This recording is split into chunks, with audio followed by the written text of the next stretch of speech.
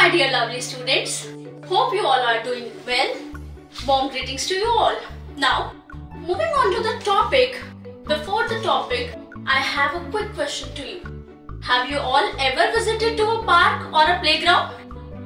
I know the answer is yes. We all have went to playgrounds or parks. What are the things we observe in a park or a playground? Yes, there is many trees, many flowers, different people, benches and many more. Are all the trees we are observing look similar? No? Yes, they don't look similar. Some are different in size, some are different in shape, some, have, some plants have different plants color. Right class? So yes, I welcome you all to the world of plants. Now, plants are classified into basically five types. The very first type is herbs, shrubs, trees, creepers and climbers. So yes, are you all excited? Yes, we are moving on to our very first classification that is herbs. What are herbs? Herbs are those plants which are green, they have very weak, soft and tender stem. For example, some of the examples you are seeing here, wheat and grass. To the second classification of plant that is shrubs. Now what is the difference between herbs and shrubs? Shrubs are a little longer than the herbs. They are small sized plant with a thick woody stem. For example, lemon and roses. Moving on to the very third classification of plants class that is trees. Very right. What are trees? Trees are very long. They have thick woody stem and their branches are in the upper part of the stem. Then do shrubs have branches? Yes, shrubs have also branches and they arise from the base of the plant. Yes class, moving on to the fourth classification of plant that is creepers, right? What are creepers? They are the plants which have weak stem and they cannot stand upright. Then what is the difference between creepers and climbers? Creepers spread on the ground, right? For example class, watermelon, pumpkin. And what is the difference between then creepers and climbers? Climbers are those plants which climb. They take the support of neighboring structures. And we all have seen a climber in our homes. That is, yes class, money plant. Moving. These are different kinds of plant. The very first is herbs, shrubs, trees, climbers and creepers. Now we are moving on to the parts of the plant. The very first part is stem. What are the functions of stem? Yes, it holds the plant upright. It conducts water and minerals to the different parts of the plant and there are many more functions of stem. We all have seen the stem in the plants class? Yes. Now, moving on to the next part of the plant. That is, I am giving you a hint. Yes, that is a leaf. What is a leaf? A leaf is a thin, flat and broad structure of the plant. Now if I say leaf, what are the different parts of the leaf? Yes students, we have different parts of the leaf.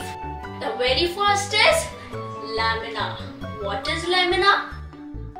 Yes, lamina is the thin broad surface which we are seeing. This all is lamina. If I see different types of leaf, this is also a leaf students and it has also lamina.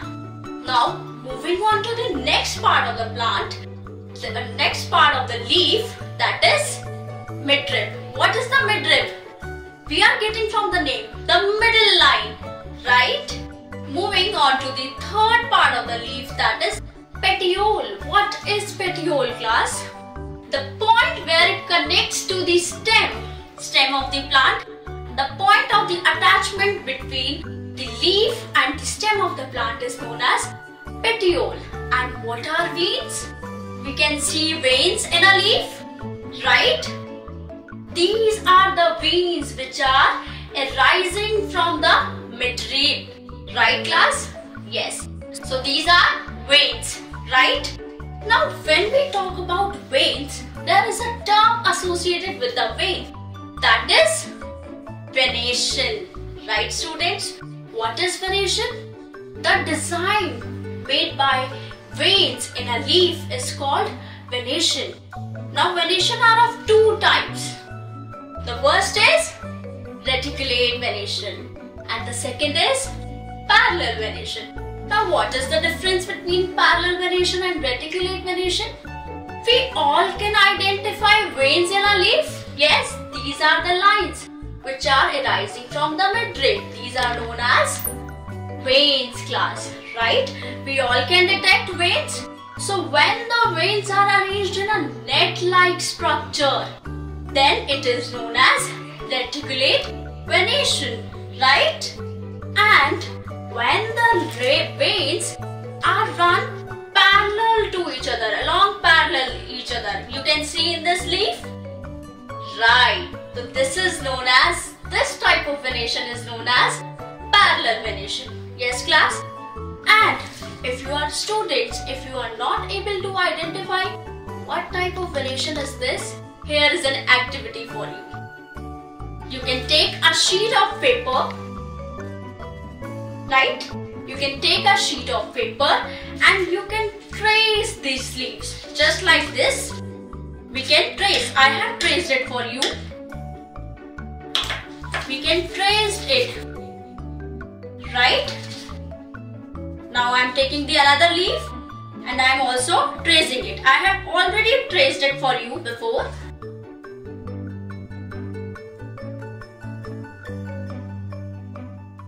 While tracing students, we can see the result. I am able to easily identify in this leaf, my veins are arranged in a net-like structure. So this is showing which type of venation class? reticulate venation. Absolutely right. And my veins here are arranged in parallel way. They are running parallel along with each other. So what is this type of venation? Yes students, this is parallel venation. Very nice students. Now I am moving on to the different parts of the plant but we will not study functions today. We will all be only be covering the venation. So what are the different parts of the plant? flowers, roots, branches. Right? So this is our topic today. Thank you so much class.